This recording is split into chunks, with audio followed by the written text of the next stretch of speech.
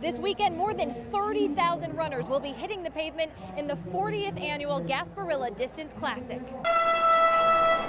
Many of these runners have been training for this moment for months, young and old, and of course, even pirates. It's just a good workout, good exercise, and I love to run. So I try to get in as many as I can as long as my girls here run with me. this group of women came here together, are stretching together, and will run together. This is a race that keeps all of them on their toes. I had the knee replacements, and that gave them knees something do, to do. So I enjoy the walk, and I enjoy walking with my friends. I had never started running to about two years ago, and they kind of pressured me, and we all go to the same gym, and um, it's, it's been great. I never thought I could be a runner. But now she is, and when she hits the pavement, she certainly won't be alone. Over the years, this race and the association behind it have raised more than $5 million. In downtown Tampa, Amanda Shivari, News Channel 8.